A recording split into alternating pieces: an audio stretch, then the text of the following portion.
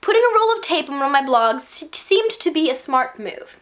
My blog, cleverly entitled Tape, is my most watched video on YouTube with over 12,000 views! It's pretty crazy, and I want to thank all of you for helping me make it so popular, as well as everyone who guessed what I was trying to say. Kudos to you! As a reward, I decided to do another blog featuring me and a roll of tape. Only this time, I'm going to be using it in different ways.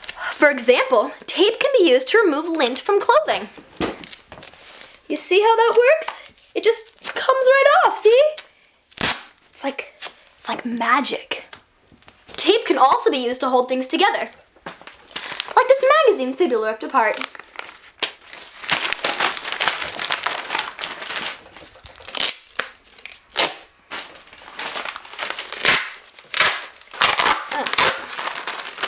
See how I can tape it back together so I can read it at a later date? Pretty nifty, huh? And now we come to the most important use of tape.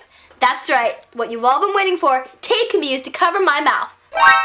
Oh, text message. Hey, it's from Trevor. You all remember Trevor, right? Trevor, shut up. Ah! Battery hit me in the head. Holy I love movies involving talking dogs. Sorry guys, we're gonna have to finish this tape blog at another date. Shelly out. Fine. Mmm. Shelly out.